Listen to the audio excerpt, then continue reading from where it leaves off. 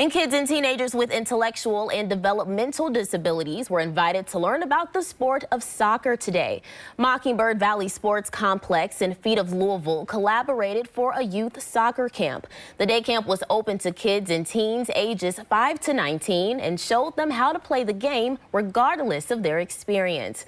Organizers hope events like this will teach kids sportsmanship and teamwork. Events like Open Net Soccer Camp um, are so critical for uh, the FEAT community um, and the autism communities because to be able to provide a space, a welcoming, loving environment, you know, to be able to teach a sport um, in this environment where they can come and they can feel welcome, accepted, appreciated. FEAT of Louisville works to ease the journey for children with disabilities through support, education, and resources.